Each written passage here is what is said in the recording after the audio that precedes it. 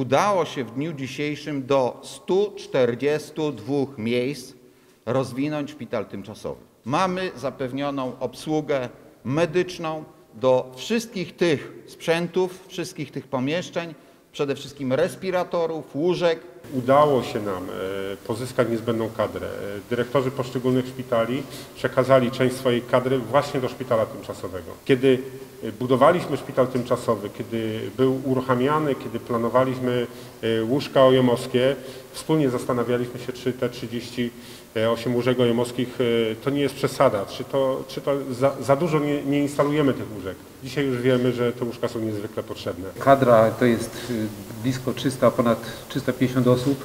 Os osoby, które nie są delegowane tylko i wyłącznie, które pracują tylko i wyłącznie na rzecz tego szpitala, ale też w swoich macierzystych szpitalach również często z COVID-em walczą. Do tej pory, przed chwileczką dzisiaj jeszcze zobaczyłem, ile byśmy przyjęli pacjentów, ile wypisali pacjentów. To oprócz 74 pacjentów, którzy obecnie leżą w szpitalu, to już 250 osób zostało wypisanych. Niestety nie wszystkim udało się uratować życie. Można tylko jeszcze raz apelować. To jest naprawdę straszna choroba i wiele osób, które przychodzi na własnych nogach, niestety umiera. Także jeszcze jest wielki apel. Naprawdę szczepmy się i przestrzegajmy tych wszystkich zasad, bo to jest chyba naprawdę jedyna szansa.